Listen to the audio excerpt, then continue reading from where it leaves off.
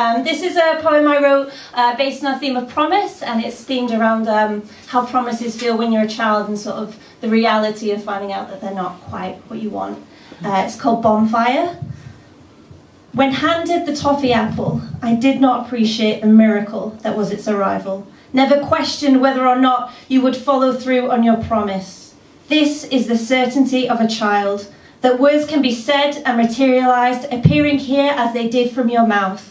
I did not know words are held to no laws, that they shift and change.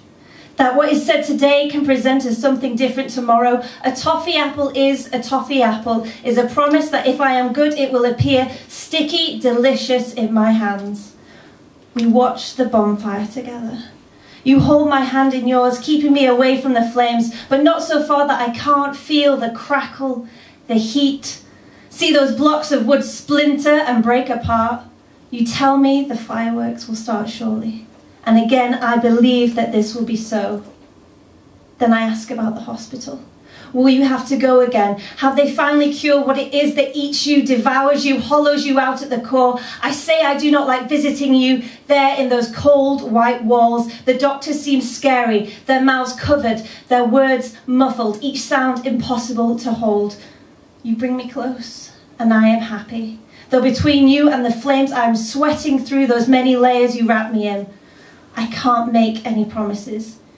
You say quietly, so only I can hear them in the crowd. Only I can feel your fingers worming their way under my clothes, touching the skin that was once your skin, buried deep inside your swollen body. I wish you would say something different. I wish, like that honeyed treat, you would pull together the pieces of you and me and our home together. Present them to me as something whole, something I can touch, something I can consume and be nourished by. But the words have already been said, are already out in the world, and as the fireworks start, you take out a tissue and wipe my hands clean.